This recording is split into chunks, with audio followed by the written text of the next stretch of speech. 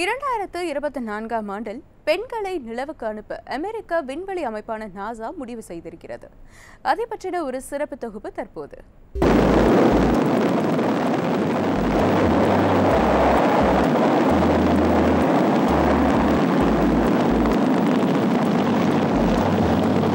கடந்த ஆயிரத்து தொள்ளாயிரத்து அறுபத்து ஒன்பதாம் ஆண்டு அமெரிக்க விண்வெளி அமைப்பான நாசா அப்பல்லோ லெவன் என்ற விண்கலத்தின் மூலம் முதன் முதலில் நிலவுக்கு மனிதர்களை அனுப்பி வைத்தது.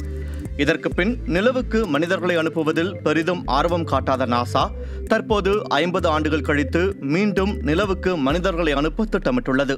அமெரிக்காவில் உள்ள ஸ்பேஸ் எக்ஸ் ப்ளூ ஆரிஜின் உள்ளிட்ட தனியார் விண்வெளி அமைப்புகள் இன்னும் சில வருடங்களில் புதிய விண்கலங்களையும் மனிதர்களை ஏற்றி செல்லக்கூடிய விண்கலங்களையும் விண்வெளிக்கு அனுப்ப தயாராகி வருகின்றன. இதையடுத்து நாசாவும் நிலவுக்கு மனிதர்களை அனுப்பும் முயற்சியை மீண்டும் துவங்கியுள்ளதோடு இரண்டாயிரத்து இருபத்தி நான்காம் ஆண்டு பெண்களை நிலவுக்கு அனுப்பி அங்கேயே தங்கி ஆராய்ச்சிகள் நடத்தவும் திட்டமிட்டுள்ளது. நிலவிற்கு முதன்முறையாக பெண்கள் செல்லவிருப்பதால் இந்த திட்டத்திற்கு கிரேக்க தொன்ம மரபின்படி அப்பல்லோவின் சகோதரியான ஆர்டிமிஸ் என்று பெயரிட்டுள்ளது நாசா.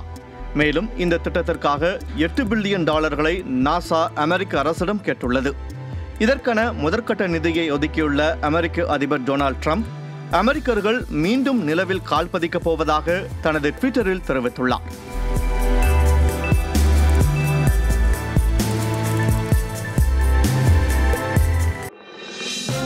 இது போன்ற முக்கிய வீடியோக்களை உடனுக்குடன் தெரிந்து கொள்ள நியூஸ் ஜே யூடியூப் சேனலை சப்ஸ்கிரைப் செய்யுங்கள்.